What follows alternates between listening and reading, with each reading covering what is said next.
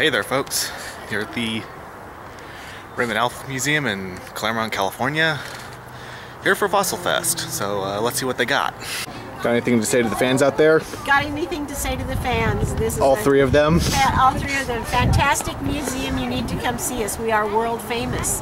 We have the largest collection of trace fossils in the United States in North America, and um, we are the only uh, museum on a high school campus in North America.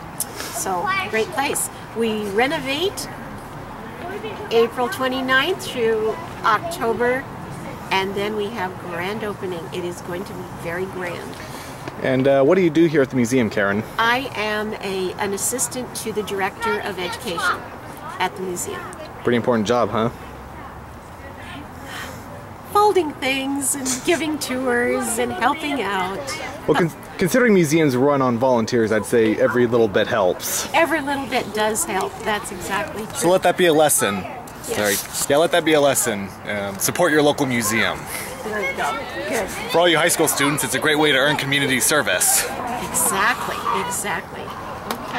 Okay. All right, let's go see what else they got going on at Fossil Fest. Fun things around the corner. All right, thank you. So what we've got going on here? Um, we're actually making fossils, and what you're gonna do is you're gonna have them write their names on this, and then they're gonna pick um, their own mold, and they're gonna take it to that station, and they're gonna fill it up, and then you're gonna wait for it to dry, and then come back and see your mold. Okay, smile, you're on a crappy web series. Hi. Hi. All right, you know, after finding that deer trackway last week, I think I'll give this a shot. What do you got? Um, well, there's a deer, a mountain lion, a pig, an otter. These are both otters. Um, a bird. These are trilobites, and these are old um, plants that the museum actually found and made molds of themselves. And this is a squirrel, Squirrel. and then this is a mouse. So, It looks like a little sea otter. And you get to choose which one you want. I think we'll go with the sea otter. Never Okay. seen someone try to make a print of a sea otter before. Can you write your name on the paper? Absolutely. All right, so we'll go get that checked out. All right, here we are at the, the plaster station here, where we're gonna get our little sea otter mold filled. This is usually how they make uh, cast of tracks in the field, except usually the footprint is in the ground, not in a little rubber mold. I've never seen anyone try to make a sea otter print before, probably because they don't often leave them. Yeah, and they're gonna fill it.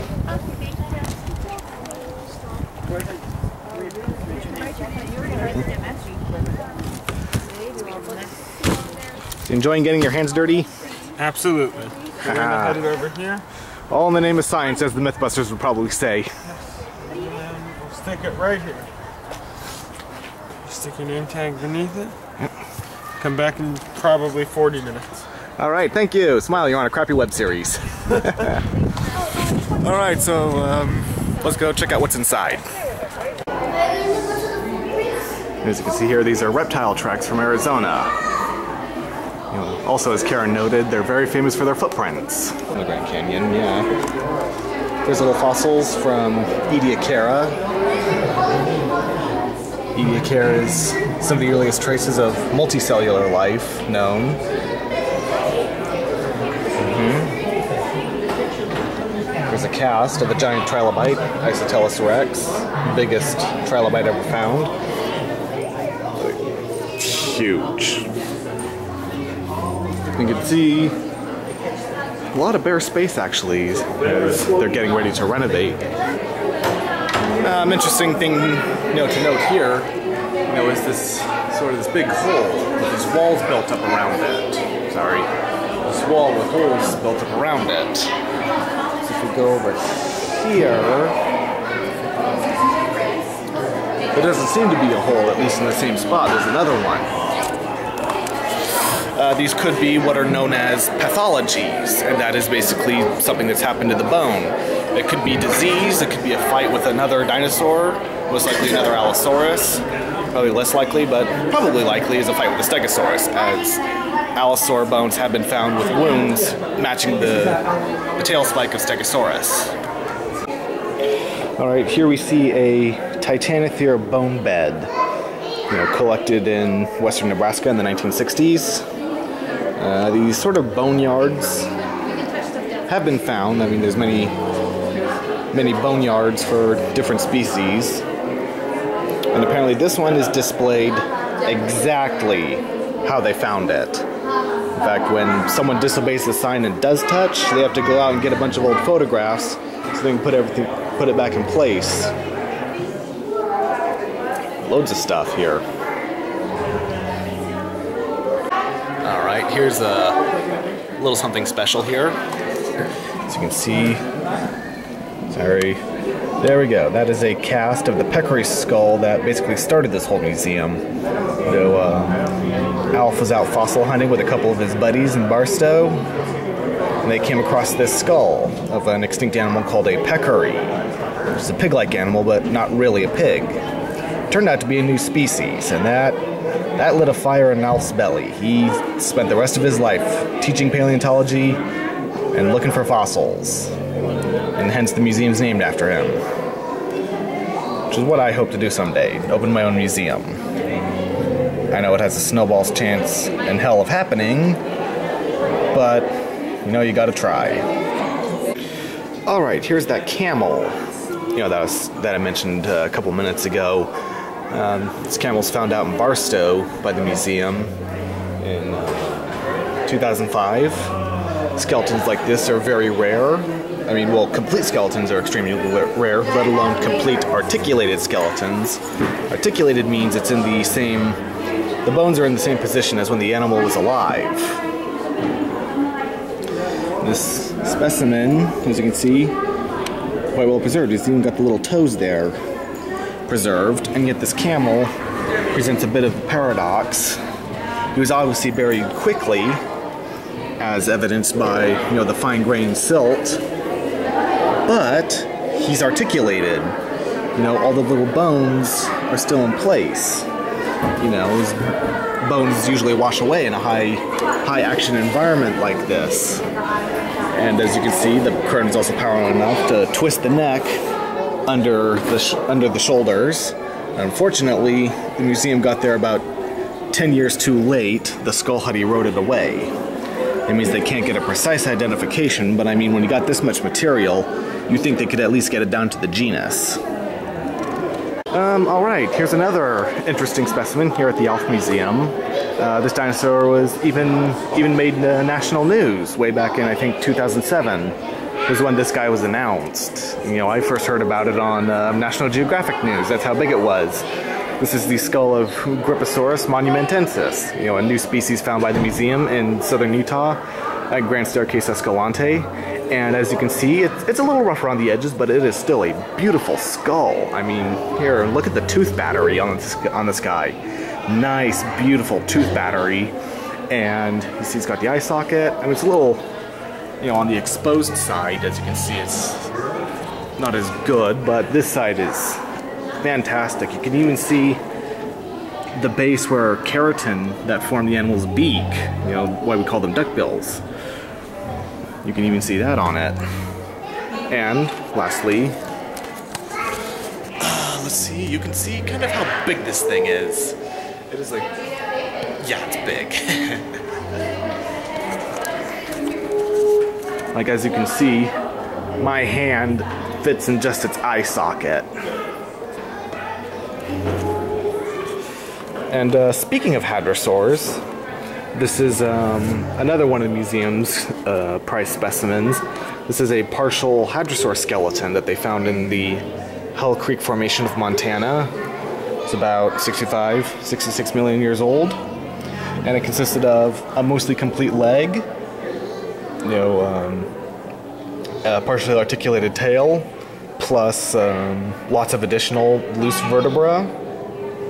And most excitingly, you see they found a skin impression from this animal. You know, because soft tissue almost never fossilizes. Only, you know, hard bones and teeth survive long enough to become fossils, but very rarely you get soft tissue preservation. That's why that that little hunk of rock with the lumps is so important because it actually tells us something about the appearance of the animal, what it looked like in life. And because, you know, last year it was announced that they found a way to uh, figure out the color of at least feathered dinosaurs. Very exciting stuff. And then uh, Karen informed me that they're they're going to recreate this animal's dig site in the new museum. And you can see that's basically what it looked like in the ground. That's what you can expect the dig site to look like, recreated dig site here in the museum, which we'll see in the fall. And here's most interesting specimen, a cast of a giant alligator skull from South America. Uh, this guy, here, let's give you a good little crane shot there.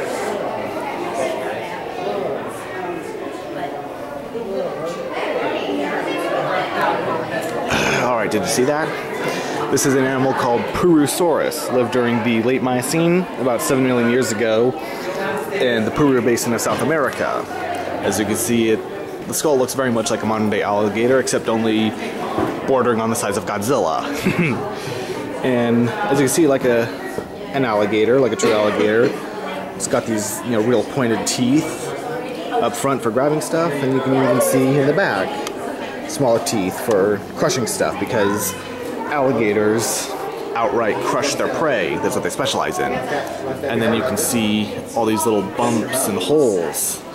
Basically, alligators, on their head at least, don't have anything between the skin and the bone. The skin is just directly grafted to the bone. And that's what, and that gives their skull this characteristic, you know, motley appearance.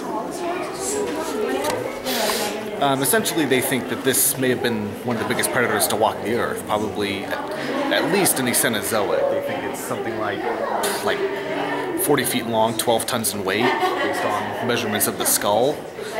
And um, you think alligators in Florida are bad? Imagine finding this thing in your pool, assuming you had a pool that could fit it. God, you need like an Olympic pool. All right, here we are in the, the fossil prep lab. So you don't have a thing Here we got like a small little bone, likely from a much smaller animal. Or depending if the end is used, could be a juvenile. There's a little unopened cast. Interesting. Big old mastodon. Thank you. Welcome. It's a big old mastodon jaw. So we start over here. This is a good place to start. If You just came in. You want to start over here. There we go. This is. Uh, you guys want to come over here? We'll start over here. So what you got in the cast? Well, when we, we collect fossils in the field, we wrap them in plaster to get them back in one piece. So we found something and we thought it was good enough that we dug it out and we wrapped it up in plaster. And we bring it back, it's all nice, nice and safe. So then when we're ready to work on it, we'll cut it open with the saw. We'll lift this off. And then we'll work on the fossil. See, this is a skull. You got two rows of teeth, back of the skull, front of the skull. It's the same animal as that, called Oreodont. You get that from South Dakota? This is from Nebraska. Ah. Anyway, um, they're quite common, this type of animal. It take a long time to dig all the rock out and keep this together, prep it. And sometimes the fossils are in really hard rock, like this one from Barstow, found by a student last time, last fall. A little rock is really, really hard. So what we use is called air scribe. Little It's like a bitty little mammoth jaw. jackhammer run on Look at his little baby that comes through teeth. this line. See that? Look at that. It's a mastodon jaw So, from It's like a dentist office, you grind away the rock, you leave the bone. Here's a mastodon skull from Barstow. This big vibrates old really fast. Gomphotheres we saw in Dr. Farkey's uh, lecture. You Get a little away crane shot. Very noisy. Unlike this. This is a